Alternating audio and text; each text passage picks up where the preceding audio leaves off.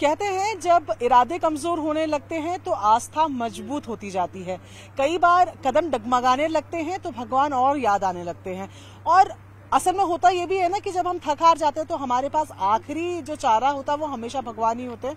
भगवान आपको संबल देते हैं, भगवान आपको आगे बढ़ने की प्रेरणा देते हैं। और ये बातें मैं यहाँ खड़े होकर इसलिए कर रही हूँ, क्योंकि ये टनल जो आप देख रहे हैं ये इस टनल पर 12 दिनों से पूरे देश की नज़रें हैं। 41 मजदूर इस टनल के अंदर फंसे हुए हैं और आज बारवा दिन है। तमाम एजेंसियाँ जो हैं वो काम कर रही हैं। लेकिन एक होता है ना कि बस कुदरत का साथ और मिल जाए तो शायद कल के निकलते वो आज बाहर निकल जाए। अब ये टनल के बगल में जरा एक छोटा सा मंदिर देखिए। ये छोटा सा मंदिर आजकल जो भी इस टनल के अंदर जाता है, वो चाहे मुख्यमंत्री पुष्कर सिंह धामी हो, वो चाहे ऑस्ट्रेलिया से आए हुए इंटरनेशनल टनल एसोसिएशन के अध्यक्ष आर्नोल्ड डिक्स सब पहले इस मंदिर में शीश नवाते हैं, सर को झुकाते हैं और उसके बाद ही आगे जाते हैं। जब आप इस इलाके में आ जाएँगे ना तो लोग आपको भौकनाग बाबा के बारे में बताने लगते हैं, जो यहाँ के इष्ट हैं, जो यहाँ पूजे जाते हैं। और यही एक लोगों में ये भी एक प्रचलित धारणा थी कि नया काम कोई शुरू किया जाए या कुछ ऐसा नया बनाया जाए और बाबा की अनुमति ना ली जाए या उनकी उनकी प्राण प्रतिष्ठा या उनका मंदिर ना हो तो चीज़ें गड़बड़ हो जाती हैं। ऐसे में जब से टनल से फंसे हैं लोग, उसके बाद लोगों के ही कहने पर एक छोटा सा मंदिर यहाँ पर बनाया गया फ़िलहाल टेम्परेरी मंदिर जिसे कहा जा रहा है जब टनल पूरी हो जाएगी तो एक बड़ा मंदिर बनाया जाएगा ऐसी भी बातें आ रही हैं। अब लेकिन कहानी क्या है भोकनाथ बाबा की? क्या है इनके पीछे का? तो जो यहाँ के लोकल लोग हैं उनसे जरा जानने की कोशिश करते हैं। क्या नाम हुआ आपका? मेरा नाम मीमा विद्वान है। अच्छा। अच्छा इसने सबसे पहले बौखनाग देवता की जय हो। पंचनाम देवताओं की जय हो। सबसे पहले इन्होंने एक गलती किया कि बौखनाग को सिरपल नहीं फाड़ा। शीश नहीं झुकाया। सबसे पहले ये गलती है इनकी। इन्होंने सुरंग सुरंग कर दिया पर इन्होंने देवताओं के नाम नहीं लिया। ये देवता क्या चीज़ होती है? इन्होंने बोला देवता क्या चीज़ होती है? पर वो बौखना बौखनाग ऐसी है सबको मर मार भी देते और खड़ा कर भी देते। पर इन बौखनाग देवता ने हमारे देवता ने हमारे नहीं सबका देवता है। इन्होंने आज अपना पर्चा दिखा दिया।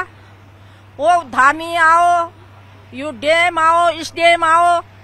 यो किसी को नहीं मान समझती है? ठीक है? सब जब इन्होंने सर ही नहीं झुकाया तो कैसे उन्होंने भी फिर अपना ये पर्चा दिखा दिया। ठीक है?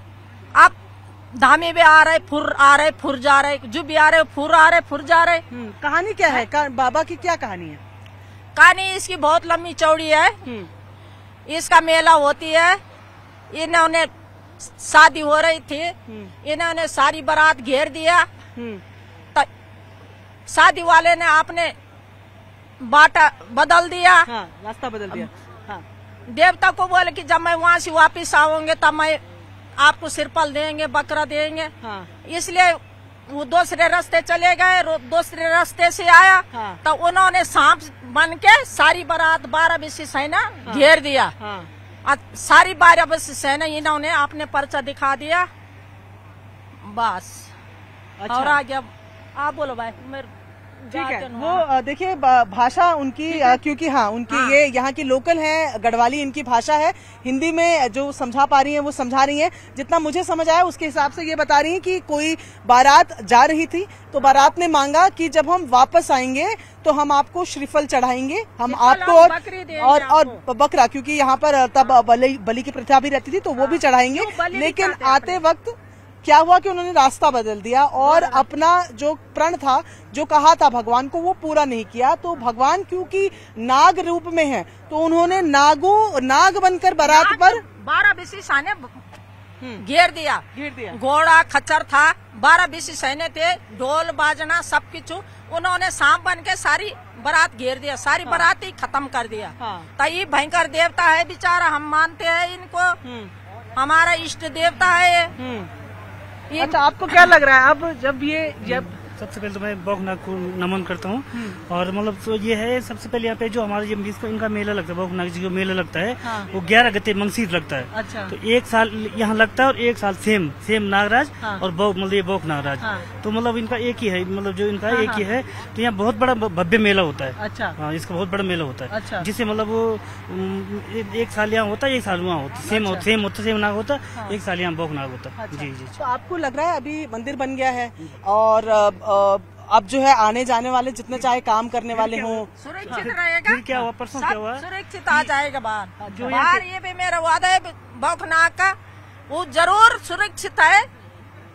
तो इन्होंने मंदिर का ये कर दिया ये सुरक्षित आ जाएगा बाहर अच्छा जल्दी तो देखो कह रही हैं कि मंदिर बन गया है तो सुरक्षित आ जाएँगे। कैमरा पर्सन को कहूँगी जरा जो लोग बात कर रहे हैं जरा इनकी बातें भी सुनवाएँ और दिखाएँ कि भाव क्या है जब वो अपने देवता के बारे में बात करें हाँ आप कुछ बता रहे जी मैं भी बोला कि परसों जब क्या हुआ कि अब मैं वो अंदर का काम नहीं हो हो पा रहा था तो फिर हम लोगों ने यहाँ पे ये कहा कि जो यहाँ पे जो पीएम है यहाँ के हाँ। उनको उनको हाँ, अपने पीएम पीएम यहाँ के जो प्रोजेक्ट मैनेजर प्रोजेक्ट मैनेजर है। उसको हाँ। उनको बुलाया हाँ। कि सुबह नहा धो के आना तब वो सुबह नहा धो के आए हाँ। नहा धो के तब फिर उन्होंने एक सिर पर लाया और फिर ये भी ये भी वादा कर रखा है उनसे मतलब उनसे ये वादा कर रखा है कि अगर ये बच जाएँगे हाँ तो मंदिर भव्य बनेगी यहाँ पे। अच्छा, आपकी आस्था है कि आप क्योंकि मंदिर बन गया है तो कृपा रहेगी। मंदिर मंदिर तो एक छोटा मंदिर बना हुआ, हाँ। मंदिर भव्य बड़ा मंदिर। उन पीएम साहब ने कहा कि मंदिर बड़ा बनेगा यहाँ तो आपको लग रहा है कि अभी देवता जो है बिल्कुल बिल्कुल। इसीलिए इसीलिए मतलब आप ये कि मतलब जब हमने परसों उस पर देखा तो हम भी हाँ। हमें पहले आज सब ये नहीं था विश्वास नहीं था। और जब हमने परसों उनको देखा वीडियो देखा तो बहुत मतलब खुशी हुई। हाँ। और मतलब वो देवता की कृपा है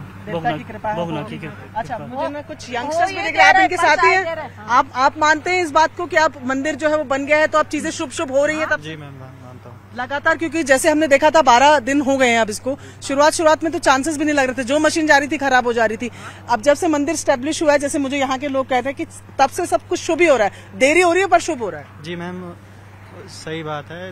क्योंकि पहले से जब इन्होंने देवता का वो नहीं किया आह्वान नहीं किया याद नहीं किया सिरपल नहीं फोड़ा हाँ। जो भी है यहाँ की हाँ। वो नहीं किया तो कुछ भी शुभ नहीं हुआ काम हाँ। ये है कि अटक ही रहते हैं हाँ। और जब से इन्होंने ये किया यहाँ पे श्रीफल फोड़ा और छोटा सा मंदिर बनाया है हाँ। तब से ये है कि काम चल ही रहा है तो आपको उम्मीद है की आप अब तो मैं, मैं अब तो ऐसा है कि हो जाएगा। हो निकल जाएँगे। सुरक्षित निकल जाएँगे बाहर। अच्छा आपको क्या लगता है मंदिर जो बन गया क्या होगा? सुरक्षित आ जाएगा सब सबसे पहले तो मैं ये कहना चाहूँगा कि जो यहाँ पे बाबा बासुकी नाग का जो है ये पूरा क्षेत्र लगता है यहाँ पे ठीक है?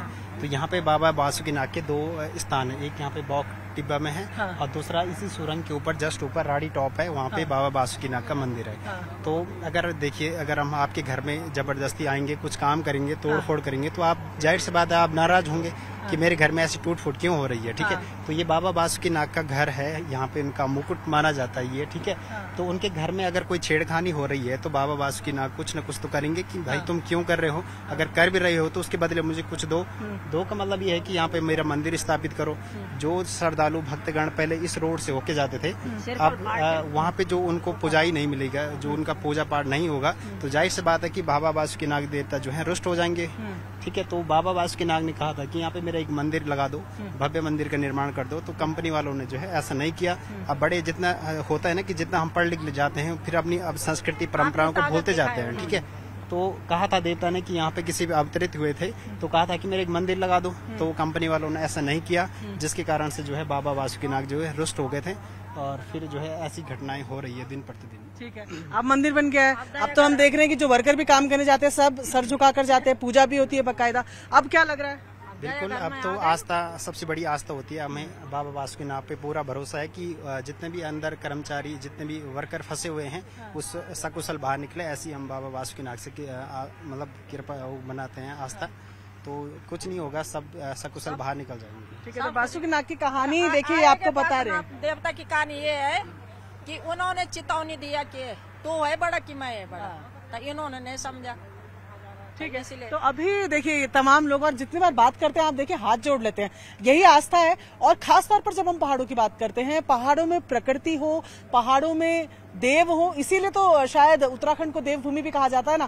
कहा जाता है पत्थर पत्थर में भगवान है यहाँ। और जब आप किसी पहाड़ पर आते हैं जैसे कि बड़े अच्छे एग्ज़ाम्पल के साथ इन्होंने समझाया कि कोई अगर आपके घर आता है आपसे बिना अनुमति लिए वो अगर कुछ करने जाता है तो आपका गुस्सा होना लाजमी है। आपकी नाराज़गी लाजमी है। तो वही यहाँ के लोगों का कहना है कि जब ये काम वाम शुरू हुआ तो अ, जो बाबा हैं भौकनाथ बाबा उनसे आशीर्वाद नहीं लिया गया। कहा जाए तो अनुमति नहीं ली गई। काम शुरू कर दिया गया। और उसके भी रोष का ये फल हो सकता है कि जिस तरीके से ये तमाम लोग फंसे लेकिन क्योंकि वो भगवान है क्योंकि वो दयालु होते हैं तो एक मंदिर वहाँ पर अभी एक टेम्परेरी तौर पर बना है, क्योंकि अभी टनल का काम भी पूरा नहीं हुआ है। उससे भी इनकी आस्था है कि भगवान जो है, वो अपनी दया दिखाएँगे और जो तमाम कर्मचारी, जो तमाम मजदूर यहाँ पर फंसे हैं, वो इन्हीं की आशीर्वाद से जल्द से जल्द बाहर आ जाएँगे। आप उत्तराखंड के किसी भी कोने में जाएँ, आप उत्तराखंड के किसी भी पहाड़ में जाएँ, आपको आस्था प्रत्यक्ष, अप्रत्यक्ष रूप में ज़रूर देखने को मिलेगी और उनसे जुड़ी उनसे जुड़ी हुई कहानियाँ भी मिलेंगी। ऐसी कई कहानियाँ हो सकती है जिन पर आपको विश्वास ना हो और ऐसी कई कहानियाँ हो सकती हैं जो प्रत्यक्ष के सामने, साथ आपको देखने को मिलती है। पर कहा जाता है ना कि आस्था के आगे लॉजिक नहीं चलता। तो ये लोगों की आस्था है और लोगों का मानना है कि इस इलाके के, इस पूरे जगह के इष्ट हैं और इष्ट की नाराज़गी का ये नतीजा है। अब इष्ट को कह दिया गया है कि जैसे ये टनल पूरा होगा, एक अच्छा मंदिर बनेगा। फ़िलहाल एक टेम्परेरी, एक छोटा मंदिर बना है। तो जल्द ही उनकी कृपा भी तमाम लोगों पर बरसेगी।